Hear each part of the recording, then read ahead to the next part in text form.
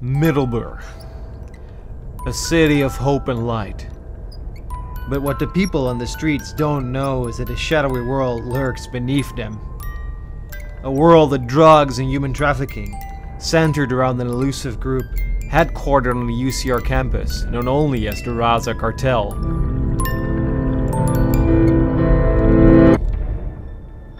They front as an innocent student association, but the truth is darker. They traffic students and drugs. RASA needs income, and you know, it's uh, it's pretty harsh times. We were transferred on packed buses to the middle of nowhere. We were offloaded at the edge of the woods. It is areas like these, in the middle of nowhere in Zeeland, that are most harmed by the cartel wars that have ravaged this area.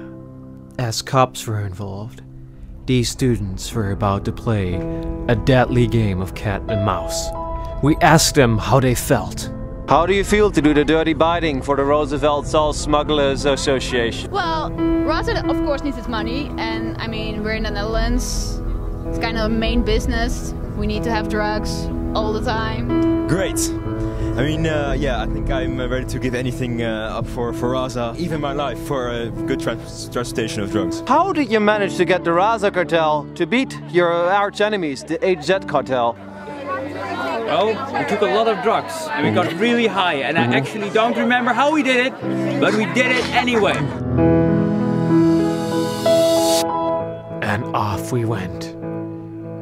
Into the woods on our adventure of the night. Darkness fell quickly. Many encounters ensued with students and others alike. Interesting characters abound and lots of drugs. We don't give up on here. This is our country. After a while, we ran into police. Obviously, weed is a bad thing. I mean, we prohibit it for a reason. So when there's a lot of smugglers here, bad things happen. So we are here to stop them. I thought you were supposed to be tough on crime. Well, I think you must understand that um, when shit gets tough, so do we. As the night gets darker, so do the souls of men. We found the dealers, but it seemed they were stoned out of their minds. Looks like they even used their own product, they were tripping fuckballs. We walked on and we found another member of the RASA cartel willing to talk to us. Yeah, no cameras here, guys. Come on. Hey, hey. Just understand my problems, man. I don't know what to do, man. I gotta get my money, you know? It's a harsh world out here. In the end, more members of other cartels moved in. We're a Mexican cartel.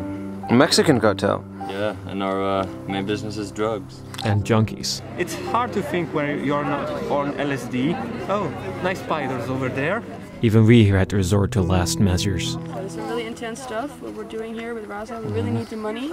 We're sorry that we've gotten to this, but uh, here it is. Get it into safe hands, and uh, we'll get the money soon, okay? The night was long and dark.